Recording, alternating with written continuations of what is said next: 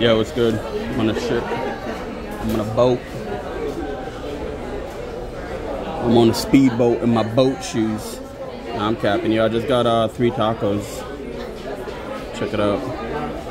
It's chicken tacos. Um, basically, if you've never been on a cruise, they have like buffets. So, like places. The buffet's over there. And then over here, like deli, and then they have another section that's like taco section and burrito. Let's take a bite. Not bad. Yeah, it's not bad at all.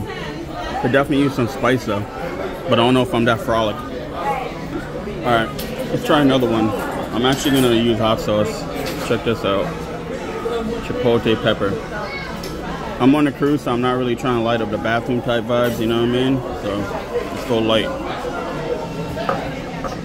Alright, let's take a bite and see if it's better with the chipotle. That's pretty spicy, I ain't gonna lie.